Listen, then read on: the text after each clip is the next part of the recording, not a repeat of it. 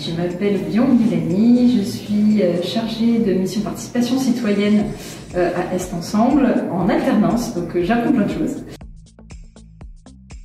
L'envie de rencontrer du monde et d'apprendre des expériences des autres et aussi l'envie de partager l'expérience qu'on a à Est Ensemble, notamment la Convention citoyenne locale pour le climat qui a été un, grand moment démocratique euh, qui, vient de se terminer et que euh, j'avais envie de pouvoir aussi partager avec euh, les autres personnes qui seraient présentes aujourd'hui. Beaucoup d'énergie positive, toujours, je trouve, dans la participation citoyenne en général, et la certitude que démocratie et transition et climat en fait sont totalement compatibles et que ça semble même évident que ça doit travailler ensemble parce que c'est une porte d'entrée euh, qui, va toucher à plein de thématiques, qui va toucher au quotidien